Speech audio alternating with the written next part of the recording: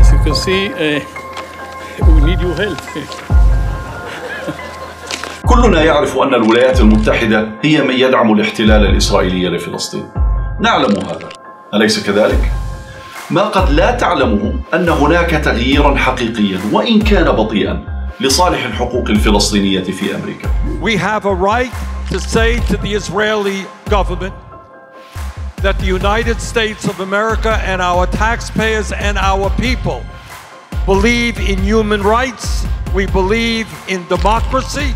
بفضل الله أولا وبفضل عمل مؤسستنا American Muslims for Palestine فإننا نرى آثار هذا التغيير في الرأي العام وفي الكونغرس وفي الجامعات. The work American Muslims for Palestine and all Palestinian advocacy groups are doing has never been even more important.